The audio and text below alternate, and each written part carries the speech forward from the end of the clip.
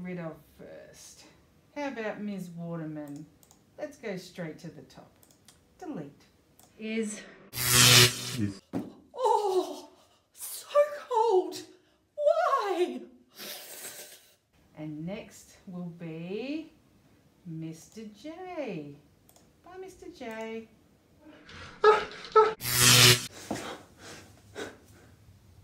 uh, Olivia? Why did everything get so big? Olivia! Oh no. Who can be next? Hmm. Mr. Raisin. Sorry, Mr. Raisin. See ya. where have you disappeared to?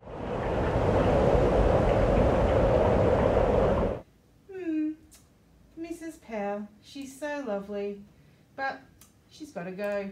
Bye, Mrs. Powell.